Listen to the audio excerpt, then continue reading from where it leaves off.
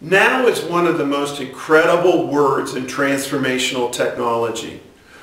When I ask people why now, one person will say, well, you know, it's time. I, I really should do it. I've been thinking about it and I've started and I've stopped and it's getting more difficult and painful and blah, blah, blah. Feel that energy. Some people, when I say why now, they do this. They go, why now? Why now? Because I have to do it now. Because I can't wait another moment. I can't, I can't sleep another night. I can't think another thought. I, can't, I have to do it now because people count on me. Because my family, my friends, my loved ones, my children, it's, I got to do it now. And they get so fiercely, I've got to do it now.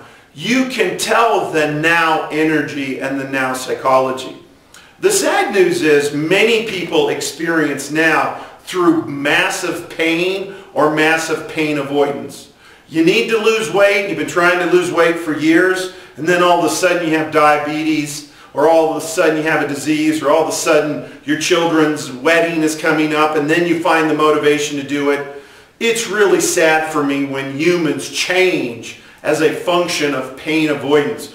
We have the ability to change for greatness, for potentiality, for the supreme pleasure. Why now? Because you understand that there is no tomorrow.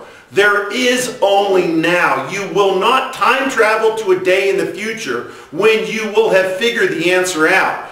The only answer that ever exists in your reality psychology is the word now. Any change always has to happen now. Otherwise, it's not now.